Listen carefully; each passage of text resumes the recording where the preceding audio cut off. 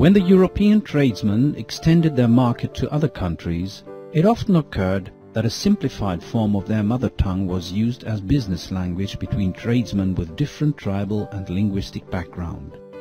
Such a special purpose language is referred to as lingua franca.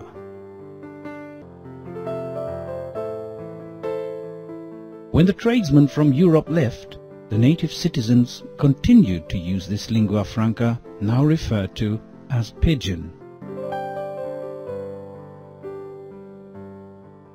When what originated as a pidgin becomes the native language of a group of people, a creole has developed.